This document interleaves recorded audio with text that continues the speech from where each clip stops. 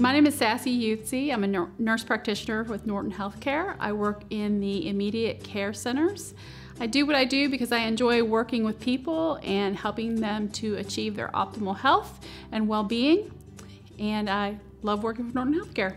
Um, I enjoy working in the immediate care center because I see a very diverse um, patient population and uh, very diverse conditions. So, treating everything from upper respiratory infections to um, accidental lacerations while you're out working in the yard, splinters, um, abscesses, that type of thing.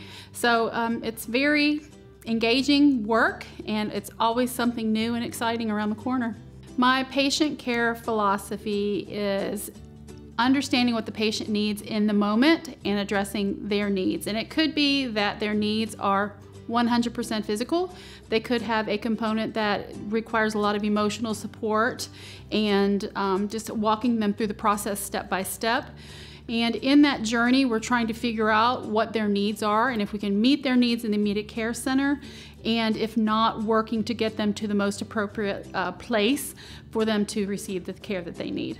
I was born and raised in Louisville, Kentucky. I have um, a master's degree from the University of Phoenix, but then decided to become a nurse practitioner. So I have dual certification, one through um, Northern Kentucky University, where I received my adult primary care nurse practitioner education.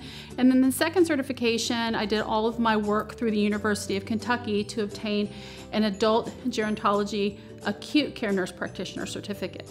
In my spare time, I stay very busy. I love spending time with my family. I have two adult children, an amazing husband.